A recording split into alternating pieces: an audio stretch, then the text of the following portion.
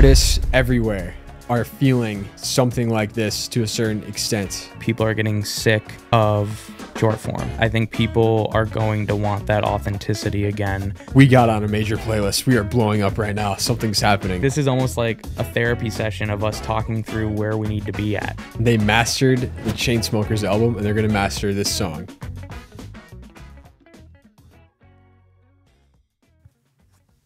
Five years ago, we were sitting in my parents' spare bedroom in Fond du Lac, and Ben would be working as an intern at a company while I was working a summer gig for the city, um, running parts for people and driving around.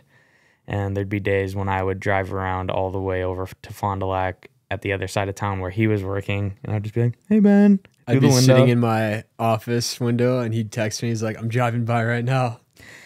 because all we could think about was getting done at three o'clock and getting to that spare bedroom to work on music. And You got done at three? I got done at five.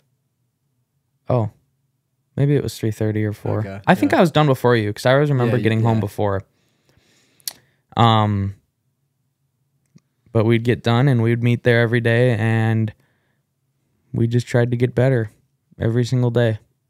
Because we used to not be good at all, but we knew what we wanted to do, and that's usually all you need is is um is a goal.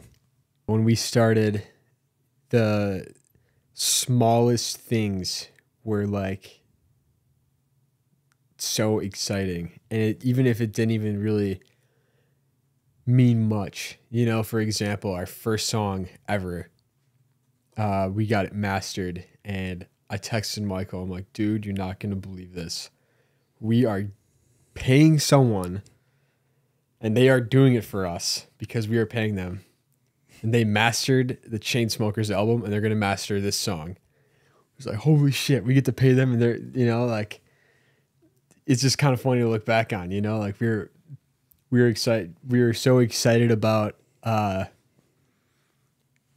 about people who were connected in music that uh that would like respond to us or uh work on something or whatever it was, even if it's the smallest thing like mastering a track and we're literally like paying them to do it. You know, it's like, oh yeah, why wouldn't they do it? We're paying them, you know? We used to even have a lot of fun using Submit Hub, and uh, which, if you guys aren't familiar, it's a website where you could submit your songs to playlists, blogs, uh, influencers, whatever. And back in 2019, when when you were first starting out, before you know TikTok surged, um, this felt like a really great way to do that. And I remember when we would get some responses, it would be like, "Oh, we didn't get this one, but we just got a response saying yes from um, Tropical Vibes. They're gonna put their this on their YouTube channel."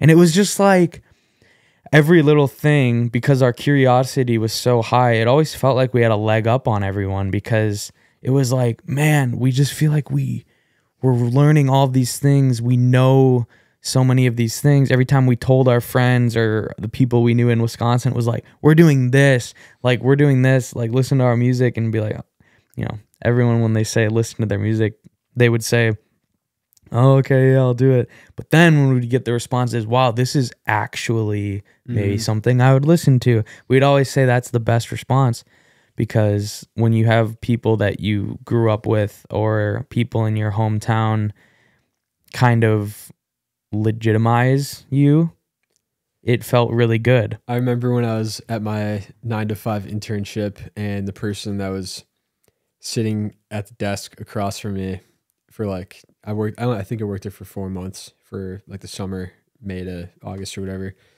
Um I think it was in August. Uh the person across from me like found out about the music or asked about it and I I sent him the song and he listens to it and he goes, Wow, this is like real music or this is Mhm. like actual music, you know? And I'm like, dang, like, you know, like that's that's a cool feeling.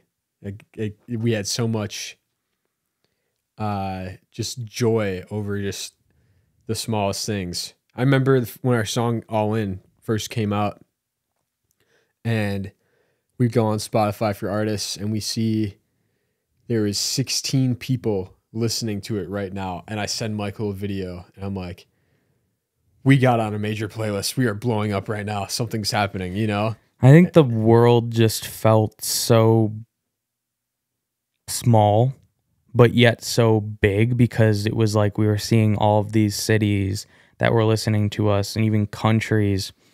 And nothing else in our life felt more important at the time either. Um, you know, we were going to school, so we obviously had homework and jobs to worry about. But we would always know that at the end of the day, we would get home and we would just start to work on this thing that we were trying to build and take to the moon. And there was just so much genuine joy that came from that. And it was so easy as a 19 year old that had a dream to be like, I'm going to take all the time I need and take so much advantage of this time that I have right now to make this a reality. Um biggest challenge is we are independent. We want to keep it that way and we've built all of this with a great team from nothing. So now it feels like there's a lot of business pressures of you know, putting out singles all the time, that model isn't necessarily friendly, especially for independent artists. You know, like there's definitely a FOMO factor too of, well, if we're not doing it, then you know everyone else is, and they're they're the ones getting the streams if we're if we're not doing the single route. You know, so that that's that's kind of a challenge too. But at the core of the astronomers, for me, I just love making music and I love putting out songs. So like I I could definitely be happy probably just in like a different way of just always putting out songs and not even overthinking it. Just just vibing, just be like, "Oh, made this song. This is this is dope." Put it out. But there is a part of me that's like man, like I I miss I miss when people were fans of albums and when people you know when albums could like at least get a chance and cut through. Because it feels like unless you're Zach Bryan or Taylor Swift or Post Malone, albums for people that are up and coming have almost zero uh you know regard or space in terms of like is it even practical anymore you know in terms of like just streaming and the business behind it you know and it's it's switched so fast within the last I'd say 4 years, you know. I mean, TikTok and Reels and Shorts, that's the that was the nail in the coffin for for albums in terms of uh smaller acts, I would say. I don't know, does that would you agree with that? As being the biggest challenge? Yeah. Yeah. I don't agree to the conclusion that you always end up with. Um, I don't think it's a nail in the coffin. I think albums will resurface. I, I, I truly believe that people are getting sick of short form. I, I think people are going to want that authenticity again. They're going to want that less cut, that less edited version of something. Um, and I, I think it just, there needs to be people that start doing it and not following what everyone else is doing. Yeah, may, maybe the maybe forms of content. Maybe it's like maybe it's like fashion, where like back in what was it, seventies or eighties, everyone had shorter shorts, and then like in the early two thousands, it went back to baggy, Clothes long. always you know? change, ideas always change, and a lot of the times we're just recycling. Yeah. So I mean, look at vinyl. Like that used to be such a big thing, and then everyone was like, "That's never going to resurface again." Now there's an iPod you an MP3 mm-hmm. player, and CDs came and they're going to take over it. And now look, vinyl is back to being one of the biggest things that you can get as a fan. Um, but I mean, we look at our our our biggest inspirations in AJR and they still truly believe in the album rollout, but they never didn't believe in that, even when they were small and up and coming. And I mean, 21 Pilots, for instance, they go completely dark before they go and release another album.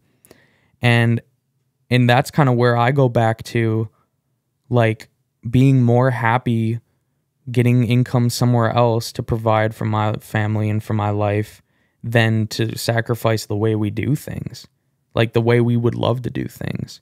Because it's like,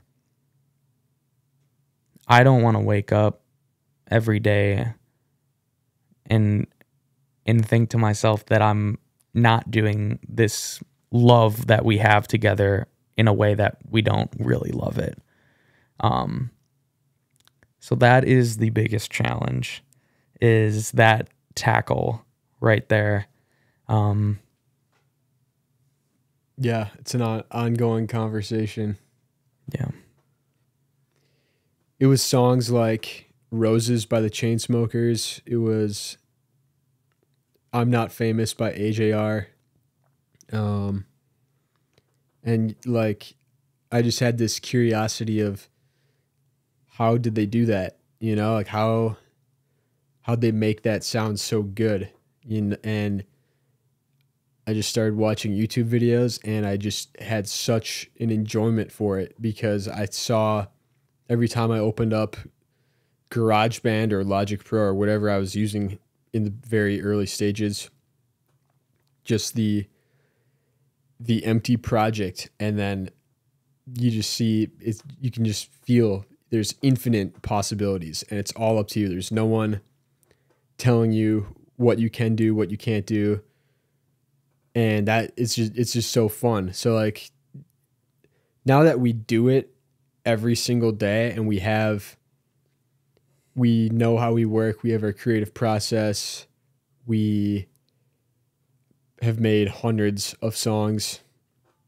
Um, and a lot of the time it's not like I don't want to say we're on autopilot, but there's a lot of that like initial like discovery on how to do things is kind of gone. So one thing we should like do more is focus on like what is something we have never done before in in the creation process, you know? Cuz like it's like we you know, we pull up the vocal chain, we we write, I do you know, it's we're just we got we just we kind of figured it out, and we were fast now. And and back then, I think the real joy was constantly learning and constantly discovering, and we're still doing that, but it's not as a it's not like at the same rate, you know, if that makes sense. Yeah, no, I I know what you're saying. Um, just to word it in a different way um, I think because we've gotten so quick at what we're doing, it used to be like we would get so excited about a demo because it took us forever to get that demo sounding the way we wanted it to. Yeah, I would think like, hell yeah, we finally have a decent song. Like, I hope. I hope this doesn't run out. Like I hope we can do this again in the next two months. But also maybe our bar is just higher. Maybe yeah. it's like we're just not making the best music right now because we're not getting like I mean like we just made a song yesterday and we both really loved it but like I'm saying like we make a song and it's just like oh like we have those every once in a while. Yeah, we we did one. We did. Yeah, when we have and we and we do every once in a while. Um but that's why I think it's it's um and we're we're just steering off, but um I think yeah, you you we started making music because we loved how it made us feel. You know, like we loved watching our favorite artists go on tour and watching their shenanigans on tour and the vlogs that they would make and just hearing like I just remember like the feeling I would get watching like an old Quinn XCII um tour where he was playing, you know, these 3 400 cap rooms um and you know the uh, like straight jacket would be playing as like the song in the background when he's on the stage and it's like detroit michigan you know cleveland ohio. And it's just like each room and stuff and just the quick flow between the rooms and it's just that song playing and i'm like i can't wait until we're on tour playing these rooms.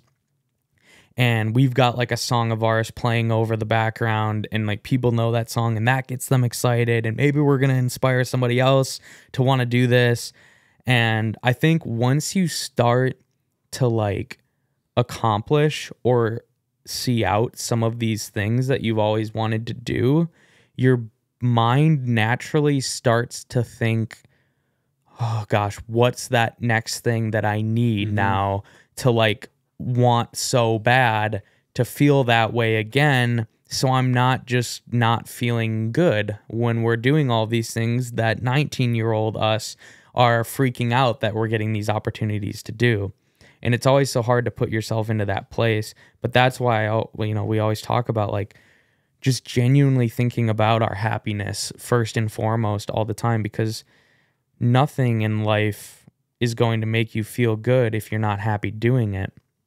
And um and you know people do that all the time. You know something in a job comes up that doesn't they don't wake up and feel happy about doing they usually either wait it out see if they can figure it out or they leave that job and they go find something else that makes them happy. And you know that's why you know we've built up something that we're so thankful for that we get to do on that we worked really hard to get to 5 years of.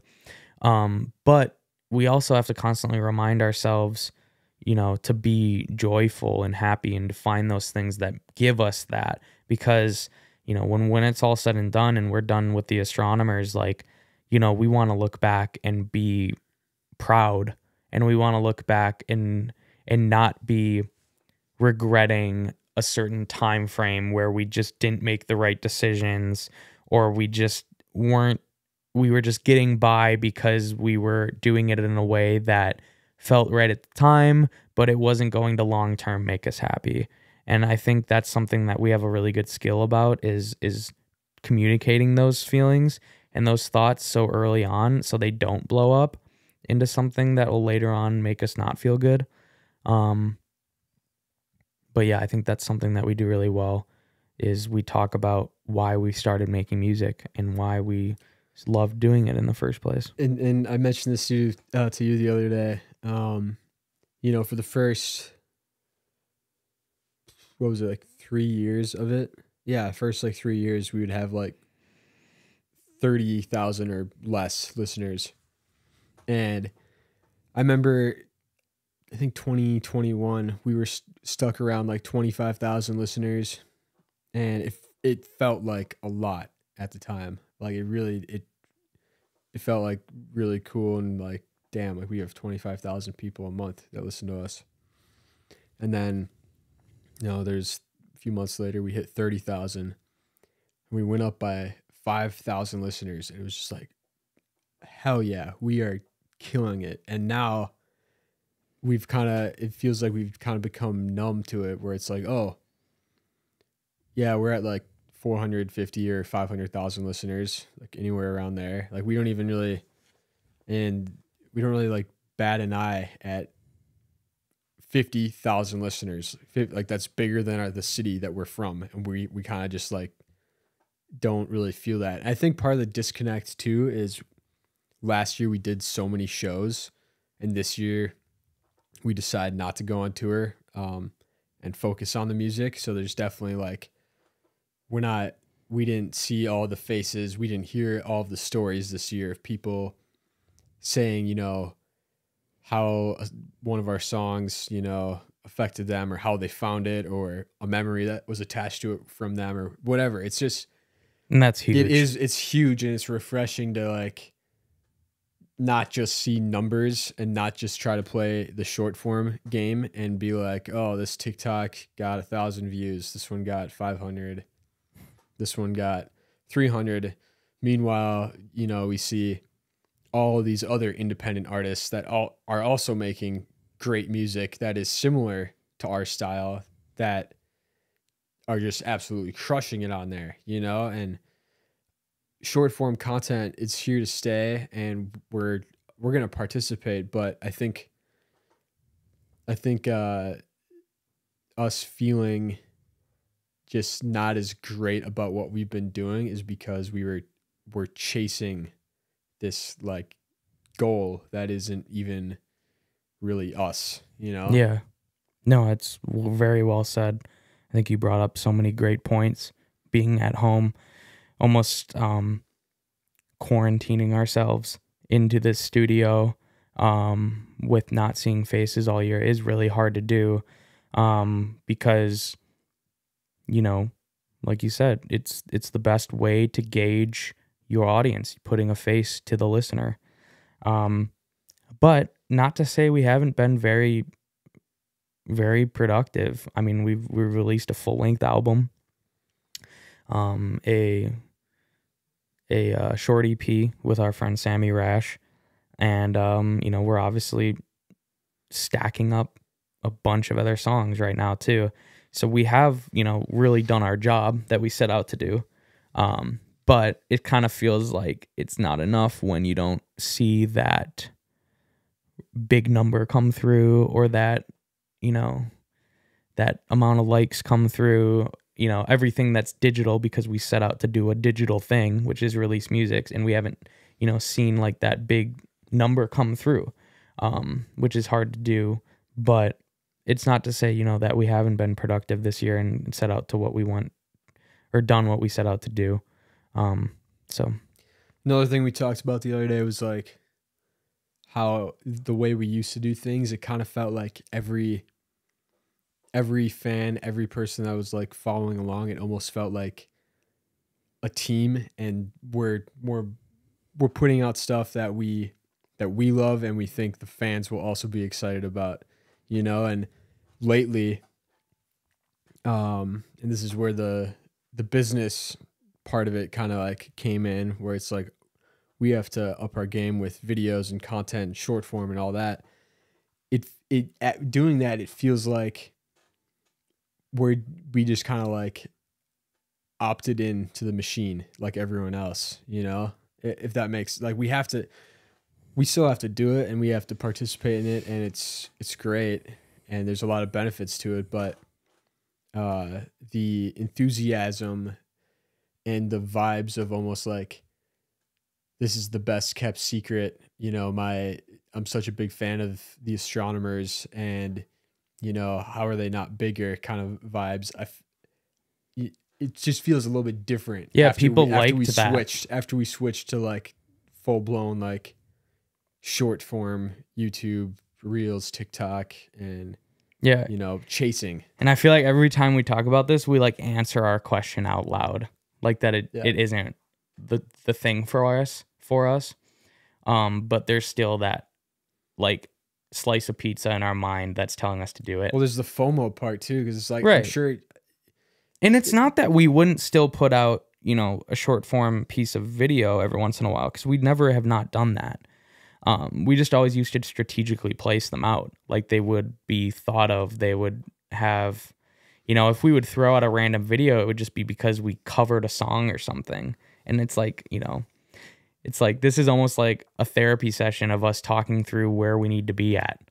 And, um, you know, you know, if you guys have any advice that you want to leave us too, we're we're always opening to hearing from you guys what you want to see from us. Like what genuinely makes you a fan? Like what brings you to subscribe to what the astronomers yeah do? what what brought you here what was like the thing that Because like dang like there's some days where it feels like we've lost sight of why people gravitated toward us because of the constant online persona or you know the the constant rat race of the industry and that's just not our vibe. It our vibe is to be authentic to you guys and to be 100% ourselves in our music and love just giving you guys every bit of us um and so it's almost it's almost sad hearing it out loud um because it's like where did this come from you know it was like a decision we made that we thought would be for the better but it's almost gotten us to a point that we haven't been more unsure of in our careers, in our five five years of being in the astronomers. So really, this whole video is like kind of like I said, like a, a session just to like spew out how we're feeling about this whole project because we want to give you guys what you want, but also what we want. And it's it's been hard because there's a constant pressure from the industry to do it a certain way. People who are fans of music, do you genuinely enjoy finding music on short form platforms? Or is it just you are you kind of just on autopilot on your downtime and you and you find it and you're just like that's cool i'll stream it that whatever you know or is or for our audience do you prefer to like find bands and artists different ways and kind of be a part of them and and follow them and not necessarily watch all the short form you know with a microphone teasing the song in clever ways. You know like i guess i don't know if that really even is the right way to ask I it. think that's what I was thinking, just not exactly worded the like the same way I would have thought, but I, that's kind of where I thought you were gonna go with i just it. didn't want to word it in a way that was like No, word it the exact way that degrading or just no, like, no, no, do worded you- that way. Okay. Is there anyone out there that that still uh follows bands like organically or is or is short form like end all be all? Like this is how people find us. I'm gonna say what I think. I I think there's definitely still both. I think there's a lot of hardcore fans, and you see them at the shows. Like, like I know we always use AJR as a reference, but their last one of their last posts when they talked about selling um, MSG out two days in a row, um, when they said that our music is for you guys. We just never knew there would be so many of you guys. Mm-hmm. That it, it's just put so simply amazing because people like we are all out there wanting to feel a part of something. And even even and you know this is no this is no shame or shade to the uh, type of music that i'm about to reference but even for the music that gets put out there that is very you have it on in the car or with your friends because they won't laugh at you for listening to it or you have it on during a basketball practice or it's in your earbuds as you're walking to class and if someone asks you what you're playing you can be like oh it's the new Drake album. There's a there is a um a lot of people that will genuinely say that that is their favorite music. Then there you've got your people there that deep down have something that they're looking for that they want to feel a part of but it's too it it feels like it sets them into this vulnerable state that they don't feel comfortable in but we know and the reason AJR does such a good job is they stay true to that side. They don't conform to like a um a realm that they know is just going to do well and attract the majority. They are turning the majority into them. And that's why we love doing that kind of stuff so much is because we feel like by being authentically ourselves we can turn these people that don't feel like they have a home yet with music to be fans of it if they give it a chance and find out that they like it. And i think that's the coolest thing about music is if you find if you do find someone or an artist or a band that is genuinely themselves you can't help but root for it and love it if it fits you. And i think there are those people out there that want to be a part of something they just don't know it yet. And that's why i feel like it's once they find it's like they find the astronomers and they're just like where has this band been? Like that they get all we get those mm-hmm. comments before where it's like where have you guys been? I've like been wanting to find songs like this and that's the responses we want from people. Yeah. we want those like today is august 1st 2024 and i think i just found my forever band. Like i just found Yeah. the band that i'm going to turn on every friday after work because they get me ready for the weekend in the best way. And I think with that, that means us making music that doesn't follow normal structure, you know? Like we want to do more things like we want to do more hums kind of songs. We want to do more The song just hit a million streams, and we weren't even gonna put it out. hums was the weirdest song on the occasion in terms of just it's just different. It was different for Yeah. us. It was different for the whole project. We're like, we don't care if this song gets fifteen thousand streams. I'm like, yeah, this is just like a filler one. This is it'll be the least streamed track but on it, the we album. but we thought it was cool. Yeah. And look what Treehouse did on our last album. Yeah. Same thing. I, I told I told Michael I'm like this is a really cool song, really different. It it's probably going to be the least streamed song because it's so weird and different.